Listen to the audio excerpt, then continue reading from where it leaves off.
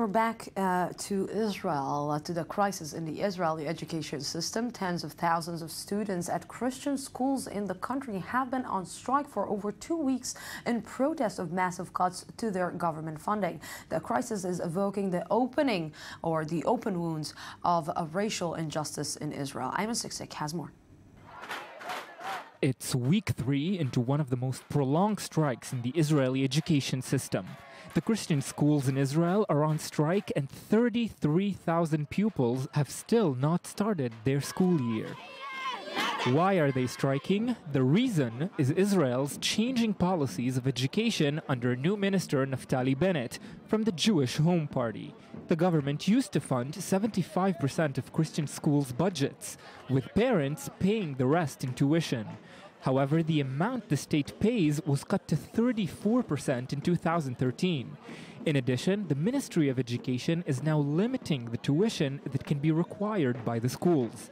Protests have been held since September 1st, the official start of the Israeli school year.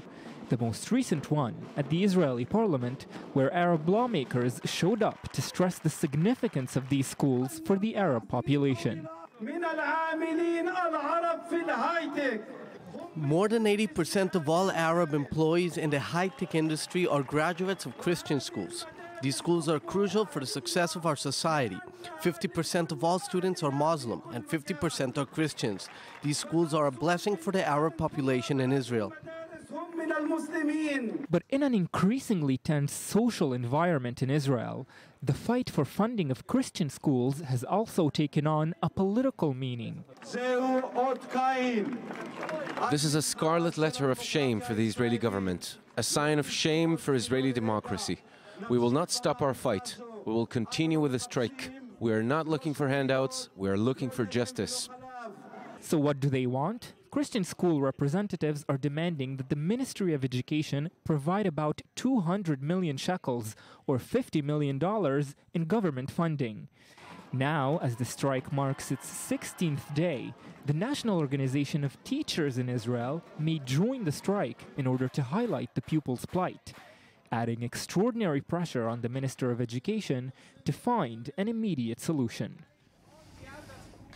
And with me uh, right now here in the studio is our correspondent, Ayman Siksik. Good evening. Good evening, Lucy. You are a graduate of uh, one of the Christian schools here in, in Israel, here in the Jaffa, uh, in the Jaffa city.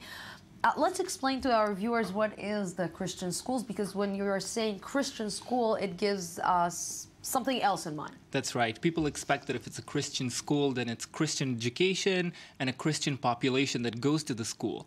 When really, just as we heard in the story, at least 50% of the students that go there are Muslim.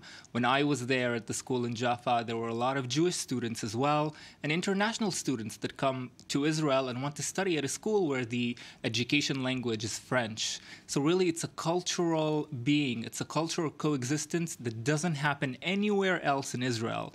You know, uh, one of the claims is that basically the taxpayer, the Israeli citizen, is saying, why should I um, finance these schools when they are private schools? If a parent wants to send his child to a private school, let him pay it. I should not pay this from my tax money. Well, I think the problem is that the Israeli government has not been unique or has not taken a specific line with all the schools when it comes to funding in this case. And you are talking about the ultra Orthodox. That's right, who receive a lot of funding, as we know, and with Naftali Bennett as the new uh, education minister, who has not yet commented publicly on the strike. And it's increasing frustration among these students, among the representatives of the schools, among everyone involved in the strike, that the Israeli government does not care about their strike or about their education. Now, aside from 33,000 pupils sitting at home, 3,000 teachers who teach at these schools are also at home. These are the teachers who are responsible for the extremely impressive numbers and success rates. If the education minister doesn't care about that, I don't know what he can care about. Unbelievable. Uh, Ayman Siksik, thank you very, very much uh, for this. Uh, and we're going out for a small break, an update from our news desk, and then we will be back for the third part of the news today. Don't go anywhere.